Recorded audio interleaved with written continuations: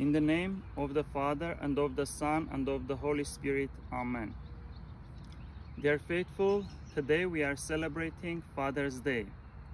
In America, we have many beautiful holidays, and we should know that God has blessed us with these opportunities not only to celebrate and enjoy, but also to learn and to grow in our faith. Being a father is a great honor and at the same time it is a big responsibility.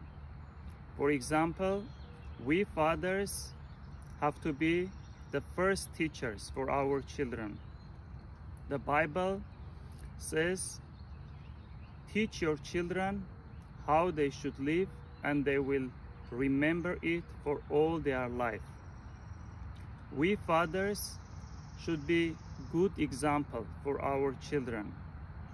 From the scripture we learn the following that we are like a letter from God and we should know that our children read that letter every day.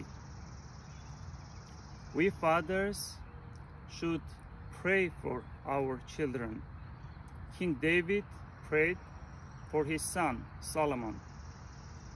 And when we pray for our children, they will have sense of security and love. And we also must pray with our children. And finally, we should spend enough time with our children. People spend lots of time and effort to achieve big projects or to be successful in their works.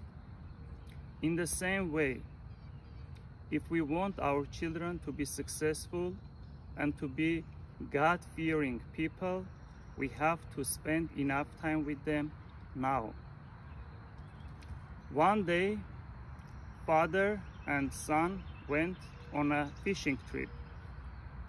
And when they returned home, the father was talking to his friend on the phone and his friend asked him, he said, how was your day?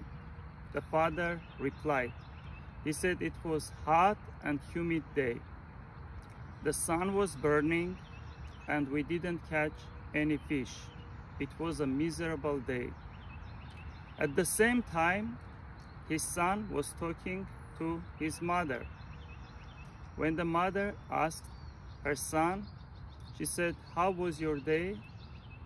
This boy replied, he said, Mom, it was one of the most important and beautiful days of my life because I was able to spend time with my father and to learn a lot from him.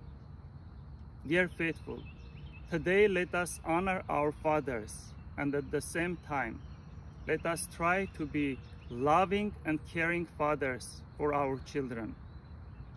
Happy Father's Day and may God bless you all. Toastvat orhni amenkit.